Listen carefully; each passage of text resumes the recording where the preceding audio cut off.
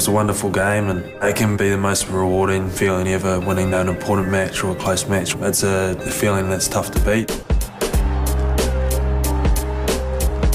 That's probably what makes the good times so good because you know it's not going to happen all the time and it's hard to get there. With the Four Nations, you know, it's a tough competition and you sort of throw all your eggs in one basket and, and go hammer and tong, I guess.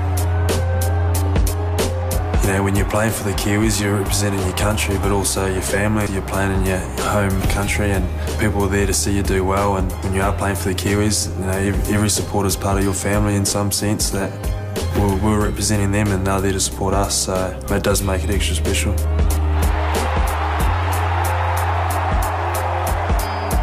Obviously, that pride factor that you're representing New Zealand, and they're out there supporting you. We're both got the same goals in mind, and that's for our team to achieve something. We do it through playing, and they do it through supporting. Get a full stadium at any ground in New Zealand and full of Kiwis. You know, you can't beat that. You can't get that sitting on your couch. They're the first there to, to get in behind you and, and, do their best to rally you and uh, get pretty vocal. I think it's just by sheer numbers, you know, you, you see their support, usually in a black jersey, and uh, definitely makes you lift a bit more on the field.